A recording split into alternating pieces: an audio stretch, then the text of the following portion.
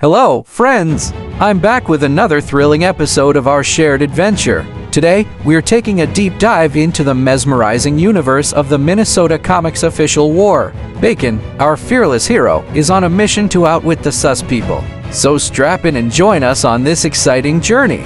Hello, my wonderful viewers! I'm thrilled to have you back on my channel. Today, we're going to dive into the captivating world of the Minnesota Comics official war with our hero, Bacon. Bacon is on a mission to thwart the sus people and save us all from their mischievous antics. So, fasten your seatbelts and get ready for an action-packed adventure. You may recall that in our previous chapter, which will be in Season 2, Bacon found himself at a crossroads. He needed 100 coins to be able to continue his quest.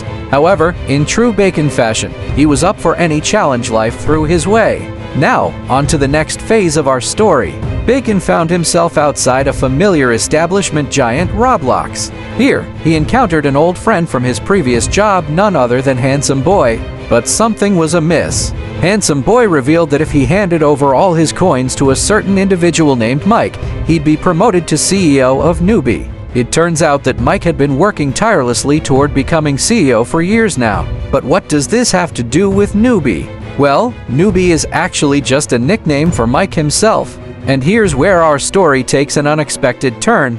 Mike decided that instead of being promoted as CEO of AutoZone or Newbie AutoZone Inc., he would simply pocket all those hard-earned coins from Handsome Boy and begin his reign as Newbie CEO at AutoZone Inc. So there you have it, folks. An intriguing twist in our Minnesota Comics official war saga. Stay tuned for more updates on Bacon's journey as he navigates this coin-filled world. And remember, life can sometimes be as puzzling as a Roblox game, you just have to keep pressing forward. Thank you so much for joining me on this thrilling adventure.